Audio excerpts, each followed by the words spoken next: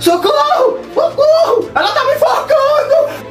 Filho, meu filho, toma o remédio, meu filho, senão você não vai melhorar. Meu Deus, meu filho está cada dia pior. Nem o remédio ele quer tomar, meu Deus. Eu preciso falar com o médico, oh, meu Deus do céu. Me solta! Alô, doutora Brígida? Doutora Brígida, eu preciso da sua ajuda com urgência. Meu filho não quer nem tomar o remédio, ele tá alucinando, fica dizendo que eu tô batendo nele, que eu vou matar ele enforcado. Aqui tá um caso sério, doutora. Tem como a senhora vir aqui, dar um pulinho aqui em casa pra visitar ele, pra, pra ver o que, que a gente pode fazer? Oh meu Deus, eu tô muito agoniada com meu filho, nem o remédio ele quer tomar mais.